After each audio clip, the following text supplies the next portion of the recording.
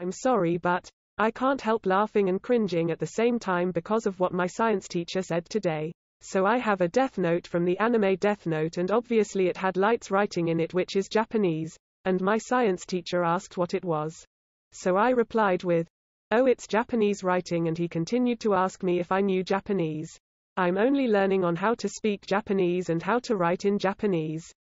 And when I told him that I didn't write it because it was printed into the book he just awkwardly smiled and embarrassed the both of us when everybody else was still doing the science test. And yes this happened when I finished my test. I got out my death note because I normally draw random stuff and practice my art in it when I haven't got any other paper. I feel so embarrassed. Thank God it's Friday.